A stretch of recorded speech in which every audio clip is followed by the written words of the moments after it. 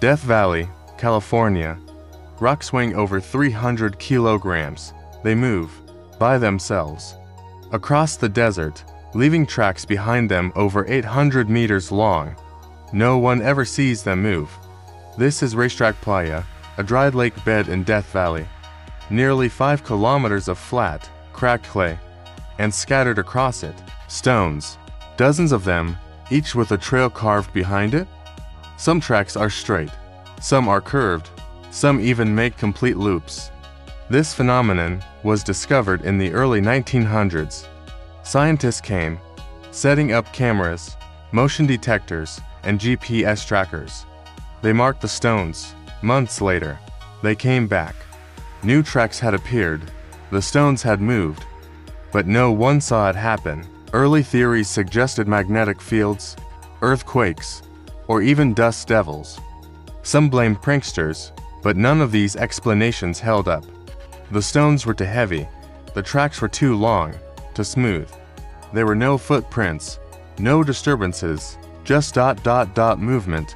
For over a hundred years, it was a complete mystery. Then, in December of 2013, two researchers, Richard and James Norris, had their cameras set up. That day, the conditions were rare. Rain had fallen, creating a thin layer of water. Overnight, it froze into a thin sheet of ice across the playa.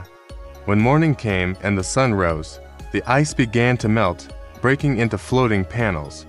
A light wind pushed the ice, and the ice pushed the stones, and the stones slid across the slippery mud beneath. The mystery was solved.